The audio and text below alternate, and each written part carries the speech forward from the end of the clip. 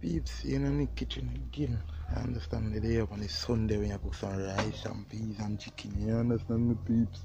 Yeah, we just put over then something upon them make it season go and soak and then sit me. We have a bigger deal and then something them have more from side by fire, my peeps. So you clean off your peeps. Take a look at the peeps. Here we are going easy work. A press full of rice. Yeah, my peeps.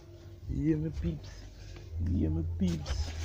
Ah, food every day. Look at that, my peeps. Look at that, my peeps. Look at that.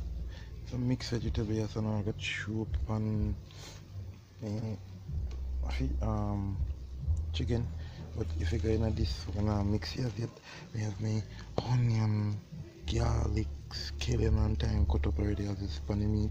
We have tomato, we have me Irish carrot, and we cut up on sweet pepper next, and then something that's gonna make your rice go and steam people. Yeah man, big up yourself and Nick153, like, share and subscribe. Thank you very much. Watch again.